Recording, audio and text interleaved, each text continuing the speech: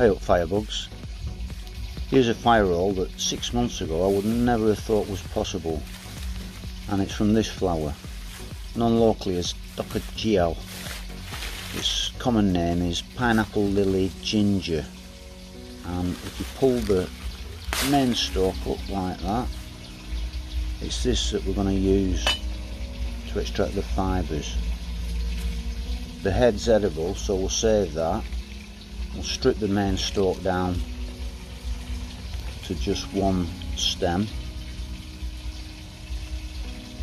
And what I do is carefully split it at one end and then I'll turn it round and zip it right in off like that just make it a bit easier to uh, scrape all the pulp out and plant matter.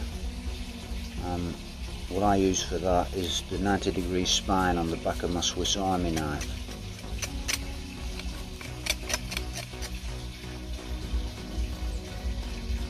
Do one side at once, get it down to pretty much the, the bare fibres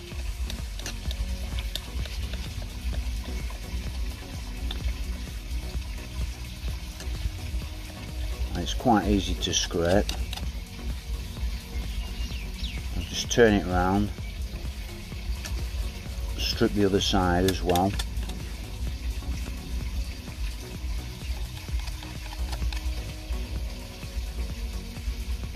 For this I only needed about two stems actually. You can see what the fibres are like when you get them down just to the bare bones. When you've stripped them all, put them out to dry for about five minutes, that's all they need in the sun, and they'll be pretty much ready to go then. Give them a good fluffing up to get rid of any excess dried plant matter. Rub them all together to get all the fibres interlocking and then just roll it up. Surprisingly with this, it didn't need any accelerant at all.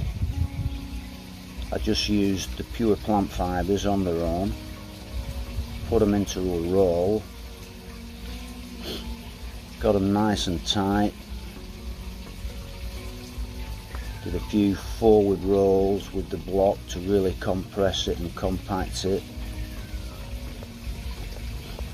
and then went for the roll.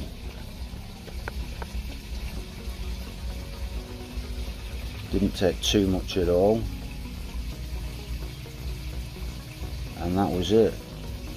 We got ignition.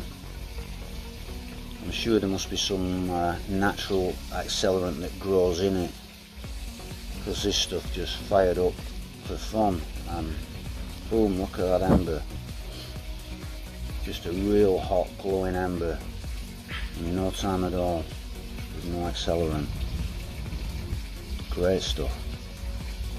Anyway just pop that into a, a dry tinder bundle of grass I got from around the lake here.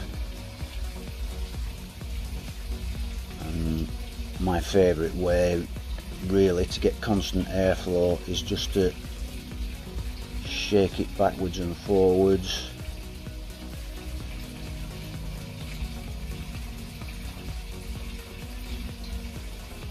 Boom. There we got it.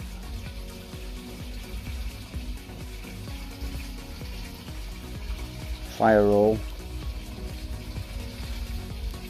from another wild ginger. Catch you later guys.